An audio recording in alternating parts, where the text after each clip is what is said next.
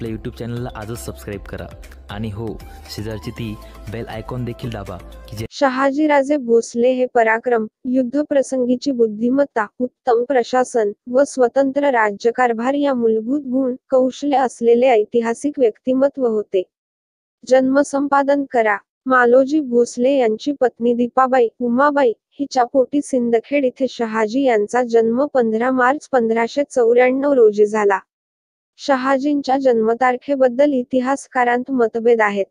काहींच्या मते मालोजी भोसले यांची मुख्य राणी उमवा साठे यांची कन्या उमा ही असून तिच्या पोटी शहाजी व शरीफजी यांचा जन्म झाला. तर काहींच्या मते फलटणच्या वणगोजी निंबाळकर यांची कन्या दीपा ह्या शहाजी व शरीफजी यांच्या माता होत. राजस्थानच्या चित्तोडगडच्या संग्रामात अल्लाउद्दीन खिलजीशी लढताना राणा लक्ष्मण सिंह नावाचा सेनानी आपल्या सात मुलांसह धारातीर्थी पडला. पुढे याच वंशातील भैरवसिंह उर्फ भोसाजी महान कार्य करून गेले. त्यांच्यामुळेच या वंशाला पुढे भोसले हे नाव प्राप्त झाले.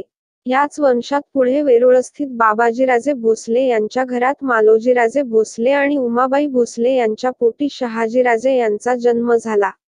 त्यांच्या जन्माच्या वेळी त्यांच्या मातोश्री उमाबाईंनी अहमदनगर जवळील शहाशरीफ फिराला. अहमदनगर जवळील मुकुंदनगर भागात तारकपूर बस स्टँडपाशी नवस बोलल्यामुळे त्यांनी आपल्या दोन्ही मुलांची नावे शहाजी व शरीफजी अशी ठेवली. पुढे सिंदखेड राजा येथील लखुजीराव जाधव यांच्या मुलीशी म्हणजेच जिजाबाईंशी शहाजीराजे यांचा डिसेंबर इ. स. सोळाशे पाच मध्ये विवाह झाला. यावेळी लखुजीराव व मालोजीराजे हे दोघेही निजामशाहीत होते. पुढे लगेचच मालोजीराजांचा दुर्दैवी मृत्यू झाला. कालांतराने जसे जसे शहाजीराजे मोठे होत गेले तसतशी पराक्रम राजकारण मुत्सद्देगिरी या बाबतीत त्यांची कीर्ती वाढत सर्वदूर पसरत गेली. अहमदनगरच्या निजामशाहीत संपादन करा. मालोजीराजे भोसले आपला भाऊ विठोजीराजे भोसले स पूर्णांक एक हजार पाचशे सत्याहत्तर दशसहस्रांशमध्ये सहकुटुंब सिंदखेड येथे लाखुजीराजे जाधव यांच्याकडे नोकरीस आले होते. तदनंतर शहाजींचे पिता मालोजीराजे यांनी लखुजीराजे जाधव यांची नोकरी सोडून स. पंधराशे नव्याण्णव साली अहमदनगरच्या निजामाची नोकरी मिळवली. मुघल शहेनशाहने स पूर्णांक एक हजार सहाशे चोवीस दशसहस्रांश लष्कर खानला एक पूर्णांक दोन दशांश लाखाचे सैन्यासह निजामशाही संपवण्यासाठी दक्षिणेस पाठविले. त्यास आदिलशहा ऐंशी हजाराचे सैन्य घेऊन मिळाला. शहाजीराजांकडे वीस हजाराचे सैन्य होते. त्यातील दहा हजार अहमदनगरच्या रक्षणासाठी ठेवून दहा हजार त्यांनी स्वतःकडे ठेवले. एवढ्या मोठ्या सैन्याला प्रचंड पाणी लागेल म्हणून मुघल आणि आदिलशाही सैन्याने उत्तर दक्षिण वाहणाऱ्या मेखरी नदीजवळ भातवडी येथे छावणी उभी केली. एरवी दुष्काळी असलेल्या अहमदनगरला तेव्हा चांगला पाऊस झाला होता. शहाजीराजांनी छावणीच्या उत्तरेस धरणाला असे तडे पाडले की रात्री झोपलेल्या मुघल आणि आदिलशाही छावणीला काही कळण्यापूर्वीच छावणीची वाताहात झाली. अनेक योद्धे शहाजीराजांचे बंदी झाले. आणि शहाजीराजांचे नाव भारतवर्षात धुमधुमले याच लढाईत शहाजीराजांचे बंधू शरीफजी धारातीर्थी पडले. भातवाडी हे गाव अहमदनगरपासून पंधरा किलोमीटर अंतरावर आहे. नंतर निजामशाही वजीर जहान खानने निजामाला मारले आणि शहाजीराजांना निजामशाहीसाठी मिळवले. शहाजहानने दरम्यान निजामशाहीतील सगळ्या पुरुषांना ठार करवले. उद्देश असा की निजामशाहीला वारस राहणार नाही. तेव्हा शहाजीराजांनी निजामाच्या नात्यातील छोट्या मुर्तजाला गादीवर बसवून स्वतः कारभार हाती घेतला व जणू स्वतःवरच छत्र धारण केले. ही घटना अहमदनगर जिल्ह्यातील संगमनेर तालुक्यातील पेमगिरी किल्ल्यावर घडली. त्यांचा हा स्वतंत्र राज्यकारभार जवळजवळ तीन वर्षे टिकला होता. त्यांनी मुर्तजाच्या आईला त्याच्या सुरक्षिततेची हमी दिली. दिल्लीचा बादशहा शहाजहानने अठ्ठेचाळीस हजार सैन्य निजामशाही आदिलशाही संपवण्यासाठी पाठवले तेव्हा घाबरून आदिलशहा शहाजहानला मिळाला. शहाजी व निजामशाहीचा टिकाव लागणे शक्य नव्हते तरीही शहाजीने नेटाने लढा चालू ठेवला. दरम्यान छोटा मुर्तजा शहाजहानच्या हाती लागला.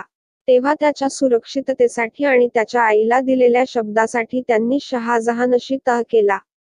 या तहांतर्गत मुर्तजा शहाजहानकडे सुरक्षित राहील आणि शहाजी आदिलशाहीला मिळेल.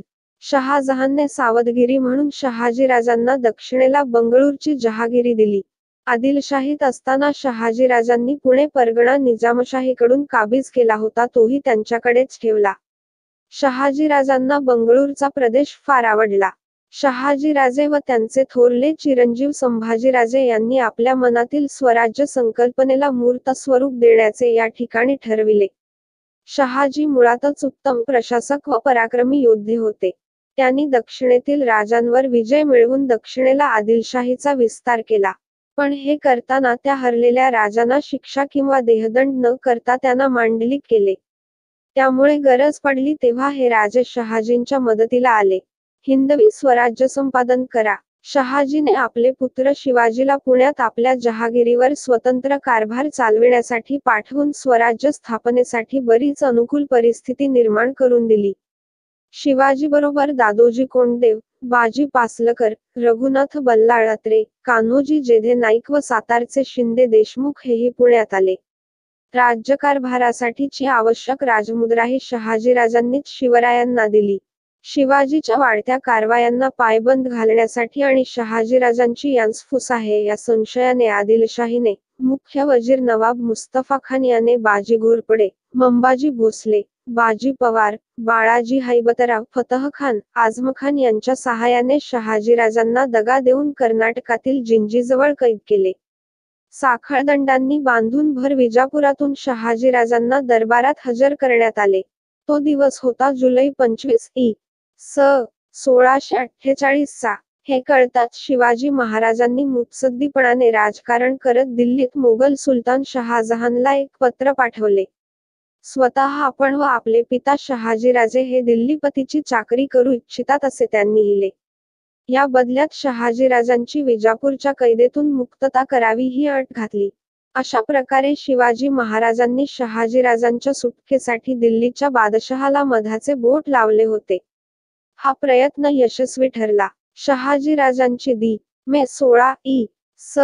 सोळाशे एकोणपन्नास रोजी सन्मानपूर्वक सुटका झाली.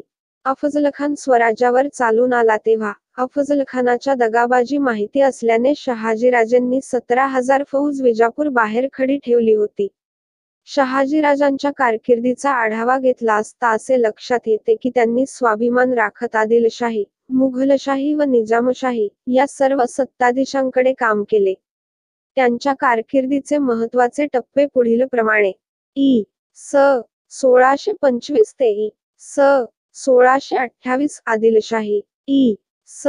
सोळाशे अठ्ठावीस ते स. सोळाशे एकोणतीस निजामशाही. इ स. सोळाशे तीस ते स. सोळाशे तेहतीस मुघलशाही. इ स. सोळाशे तेहतीस ते स. सोळाशे छत्तीस निजामशाही. इ स. सोळाशे छत्तीस ते स. सोळाशे चौसष्ट आदिलशाही. पुढे इ स. एक सहा सहा एक ही. स. सोळाशे बासष्ट दरम्यान शहाजीराजे महाराष्ट्रात आले होते. त्यांनी त्यानंतरचा काही काळ शिवाजीराजे व जिजाबाईंसमवेत घालवला. आपण लावलेल्या स्वराज्याच्या रोपट्याचा आज विशाल वटवृक्ष झाल्याचे पाहून ते धन्य झाले. काही काळानंतर ते पुन्हा आपल्या जहागिरीत परतले. माघ शुद्ध पाच म्हणजेच जानेवारी तेवीस इ स. सोळाशे चौसष्ट रोजी होदेगिरीच्या जंगलात शिकारीला गेले असताना त्यांच्या घोड्याचा एका वृक्षवेलीमध्ये पाय अडकला व ते खाली कोसळले आणि त्यातच त्यांचा दुर्दैवी मृत्यू झाला. शिवाजी महाराजांचे सावत्र भाऊ व्यंकोजीराजांनी राजपरंपरेप्रमाणे शहाजीराजांची उत्तरक्रिया केली व समाधी शिमोग्याजवळ होदेगिरी जिल्हा दावणगिरी कर्नाटक येथे बांधली.